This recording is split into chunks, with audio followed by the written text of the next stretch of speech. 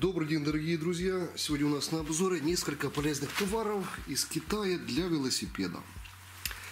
Итак, смотрим, что у нас есть. Давайте начнем со стоечки.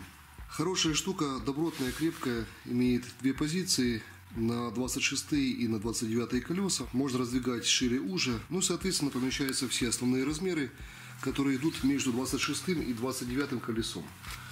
Так вот она выглядит, но э, проблемка в том, что магазин не положил сюда набор креплений, которые поднимают эту стойку еще выше, и такие специальные чашечки под саму раму. То есть она должна стоять вот здесь, вот, вот здесь должна держать.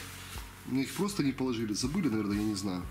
Поэтому как бы он должен находиться, э, точнее колесо должно находиться в воздухе, но оно у меня стоит на земле. Стойка может использоваться как ремонтная, может использоваться как просто стояночная, парковочная и так далее. Все удобно и понятно, но опять же нет укреплений, буду сюда что-то колхозить, чтобы поднять его повыше, потому что у меня 29-й найнер и поэтому как бы не совсем удобно. Колесо должно болтаться в воздухе, оно у меня в данном случае стоит на земле, это неправильно.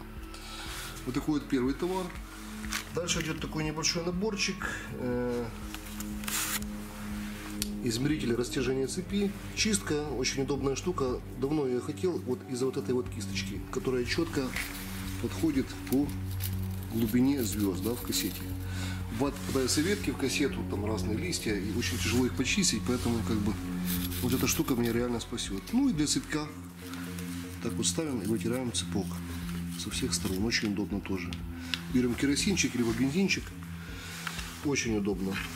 Съемник для цепи. Тоже, ну, думаю, кто велосипедами пользуется, тут понимает, про что я говорю. Инструмент очень простой. Так вот заводим за замочек, да.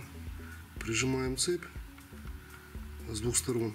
Сводим, да. И вот замок у нас должен открыться. Нужно просто очень сильно продавить. Но я в данном случае снимать не хочу, потому что цепь у меня чистая и настроенная. Вот такая вот интересная штука. Кстати, написано не Китай, а Тайвань. И на коробочке тоже было написано Тайвань, что в принципе радует. Далее идет защита рук, осенняя либо весенняя. Она может быть разная, может быть много вариантов, может быть просто черная, оранжевая, зеленая, любых цветов.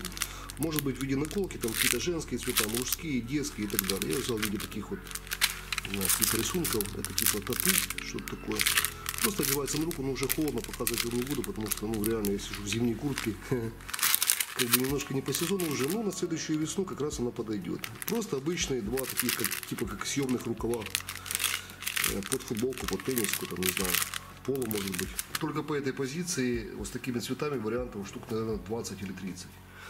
Есть там просто однотонные, там тоже вариантов, не знаю, может 50 их. Поэтому тут уже, если кто-то на сильно думает, то уже, ребята, выбирайте. Ну и самый главный инструмент. Вот он, это тестер для цепи, да.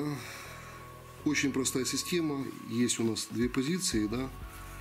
Так, чтобы было видно. Вот на 75 и на единичку, да.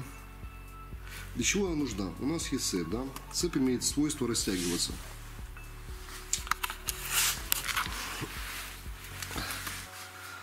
Если у нас растянула цепь, мы просто ее меняем. Да? Если она растягивается очень сильно, она начинает у нас жрать кассету. Соответственно, мы попадаем на очень дорогостоящий элемент велосипеда. Кассета стоит реально денег немерено, особенно вот, вот это вот в данном случае. Японская. Что мы делаем? Берем вот так вот, вставляем на цепь и кладем ее. Вот она у нас как бы не падает, да, то есть цепь у меня новая, вот она стоит как только вот эта вот пумпочка, да, или как ее назвать, не знаю, рычажок, там, не знаю, датчик, может быть, опускается вниз полностью, мы выбрасываем цепь. Ну, две позиции есть, да. Первая у нас, вот, если мы кладем ее номер 75, да, мы меняем только цепь, если она опускается полностью. Вот так вот она должна опуститься, да. То есть пока у меня цепь не растянута.